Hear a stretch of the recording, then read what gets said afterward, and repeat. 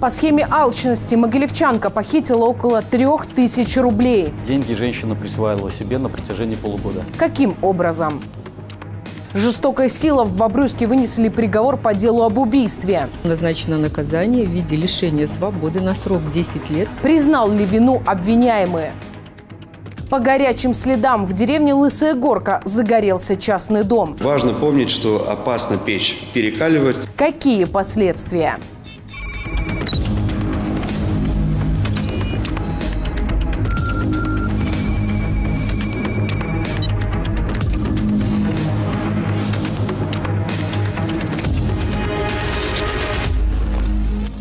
Это «Сирена». Громкие ЧП за неделю страшная правда из жизни города. Мы уложимся ровно в 7 минут. Засекайте. Кровавый треугольник в Бобруйске вынесли приговор по делу об убийстве. 20 мая 39-летний обвиняемый вместе со знакомой пригласили в гости 63-летнего пенсионера. Долгие посиделки с алкоголем закончились страшной трагедией. Во время нетрезвого конфликта бобруйчанин нанес гостю не менее пяти ударов ножом и со спокойной душой отправился спать в соседнюю комнату комнату вместе с подругой. Хладнокровности гражданина не было предела. На утро он просто пошел за дозой спиртного и позвонил приятелю, чтобы рассказать об инциденте, который, в свою очередь, и сообщил о случившемся в милицию. Несмотря на непризнание своей вины в полном объеме в совершении умышленного убийства, Судом постановлен обвинительный приговор. Суд согласился с позицией государственного обвинения и признал данного гражданина виновным в совершении умышленного убийства. И на основании части 1 статьи 139 Уголовного кодекса Республики Беларусь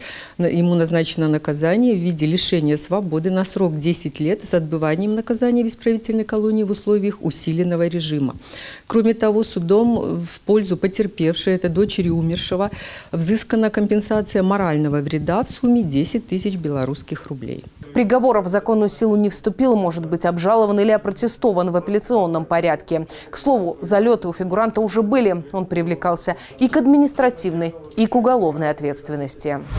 Валюта совести. В Могилеве пресечен нелегальный бизнес. 33-летний житель областного центра занимался незаконным оборотом криптовалюты. С ноября прошлого года мужчина помогал третьим лицам в сделках на биржах. Размер прибыли более 700 тысяч рублей. В соответствии с декретом президента о развитии цифровой экономики для физических лиц, нерезидентов парка высоких технологий, предпринимательская деятельность по обороту криптовалюты запрещена. В отношении фигуранта составлен административный протокол. Могилевчанину грозит крупный штраф и обращение в доход государства всей заработанной суммы. А моральная песня бухгалтера Могилевчанка похитила крупную денежную сумму. 31-летний главбух одной из организаций города за полгода присвоила себе около 3000 белорусских рублей.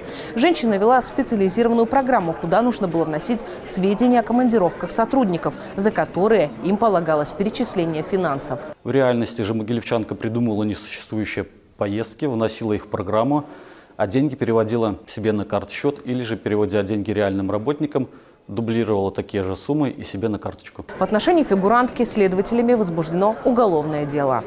В Беларуси зарегистрировано более тысячи краж велосипедов. Показатель на треть меньше, чем за аналогичный период прошлого года. В большинстве случаев байки похищались из подъездов и дворов. Главная причина – неосторожность хозяев. Негативные последствия влечет и покупка краденого.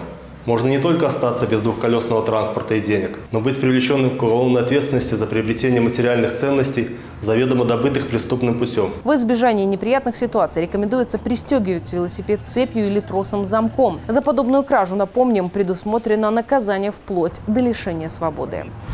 Беспредел на дорогах в Могилеве за два дня случилось два серьезных ДТП. В областном центре 63-летний водитель за рулем иномарки не справился с управлением и снес стойку светофора и дорожный знак. На медосвидетельстве оказалось, мужчина был нетрезв.